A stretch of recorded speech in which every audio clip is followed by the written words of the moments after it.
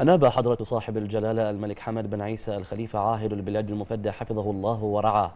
سمو الشيخ محمد بن سلمان بن حمد آل خليفة لحضور الاحتفال الذي أقامته سفارة المملكة المتحدة في مملكة البحرين بمناسبة عيد الميلاد الثاني والتسعين لصاحبة الجلالة الملكة إليزابيث الثانية ملكة المملكة المتحدة وشمال إيرلندا.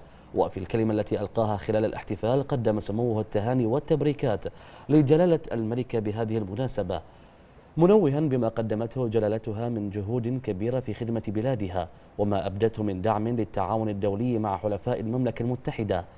مشيرا إلى ما تشكله العلاقات البحرينية البريطانية من إحدى الشواهد الإيجابية على ذلك بما تتميز به من قوة وتعاون عالي المستوى وتواصل التنامي بوتيرة متسارعة مع بلوغ هذه العلاقات الوطيدة لأكثر من 200 عام من الصداقة والشراكة الوثيقة. وأكد سموه على أسس الشراكة التاريخية بين المملكتين اللتين يضمهما تحالف قوي وصداقة وثيقة وتحظى العلاقات الثنائية بينهما بالدعم والاهتمام من حضرة صاحب الجلالة. الملك حمد بن عيسى الخليفة عاهل البلاد المفدى حفظه الله ورعاه وصاحبة الجلالة الملكة إليزابيث الثانية ملكة المملكة المتحدة وشمال إيرلندا إذ تجمع جلالتيهما قيم عالية من روح المسؤولية والرؤى الحضارية والواعية. منوها سموه بالدور الكبير الذي تواصل هذه الشراكة القيام به في الإسهام في تعزيز أمن واستقرار المنطقة والتصدي للتحديات المشتركة. كما أشار سموه إلى ما شهدته العلاقات الراسخة بين البلدين الصديقين من محطات بارزة على صعيد العلاقات الثنائية بين البلدين وعلى المستويات العسكرية والتعليمية والاقتصاد. فقد شكل افتتاح صاحب السمو الملكي الأمير سلمان بن حمد آل خليفة ولي العهد نائب القائد الأعلى النائب الأول لرئيس مجلس الوزراء.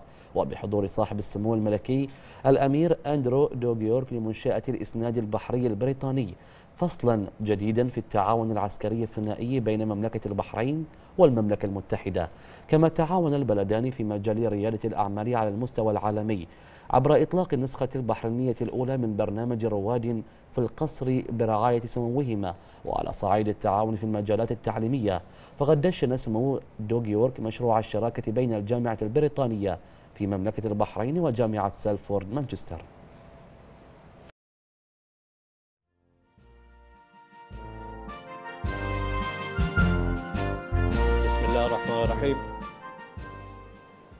Your Excellencies, distinguished guests, ladies and gentlemen.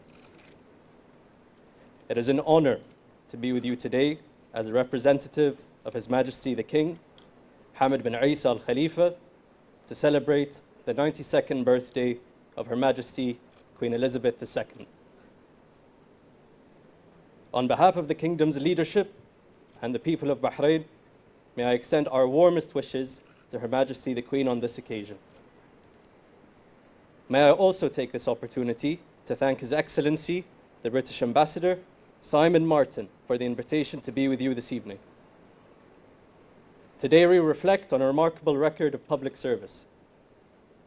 To put the sheer scale of Her Majesty's 66 year reign into perspective since her coronation, the Queen has undertaken over 264 official state visits to 116 countries, appointed 13 British prime ministers, and witnessed the inauguration of 13 US presidents, in addition to having 15 British ambassadors to the Kingdom of Bahrain serve Her Majesty since 1971.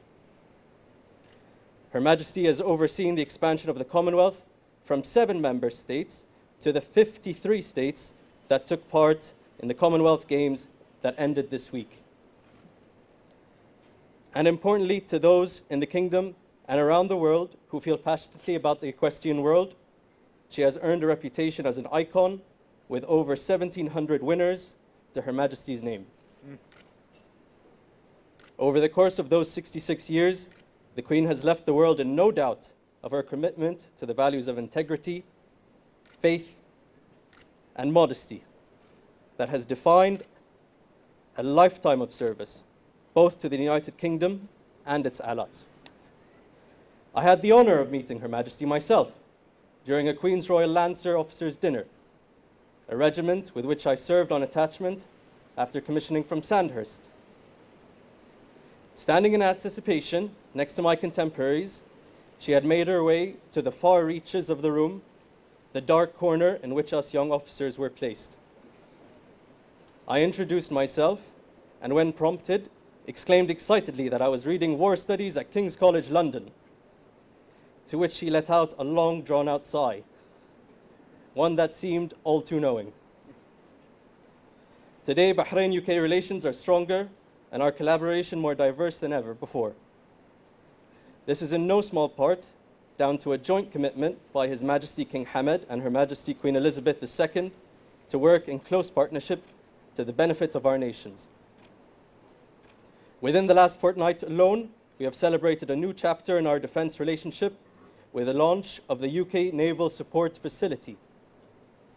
We have inaugurated a new higher education partnership project that will see the new British University Bahrain, BUB, open its doors to students later this year. And we have joined forces to support the growth of global entrepreneurship through holding the first Pitch at Palace Bahrain event, an initiative led by His Royal Highness the Crown Prince and His Royal Highness the Duke of York. Together, our 200 year old bilateral relationship continues to play a pivotal role in protecting stability and peace within the region and supporting economic growth in both countries. The world has changed much since 1979 when His Highness the late Sheikh Isa bin Salman and His Majesty King Hamad welcomed Her Majesty the Queen to the Kingdom of Bahrain for the first time. Today, as in 1979, the world faces a range of complex and shifting threats. And yet, as symbols of leadership, the influence of these two long term friends remains constant. As the United Kingdom and Bahrain stand shoulder to shoulder to face these threats together, should give us confidence that the leaders of both our countries embody the values of dedication and integrity that His Majesty King Hamad and Her Majesty Queen Elizabeth have come to represent. I have no doubt that under their wise guidance, the historic bond between our countries will continue to grow and strengthen in the years ahead. Ladies and gentlemen, once again, the Kingdom of Bahrain is delighted to join you in celebrating Her Majesty's 92nd birthday, 66 years of her reign, and the vitality of the special relationship between our two nations. Thank you.